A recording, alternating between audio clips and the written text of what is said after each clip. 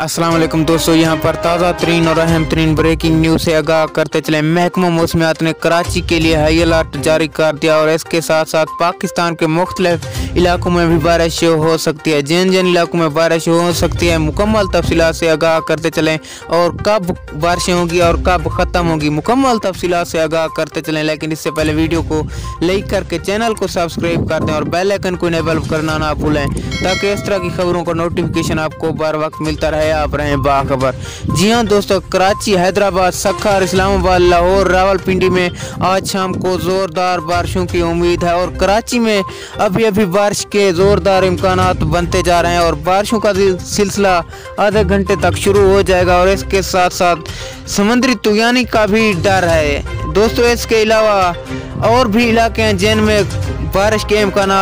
हैं दोस्तों अगली वीडियो तक के लिए हमें दीजिए इजाज़त अल्लाह Nigiban.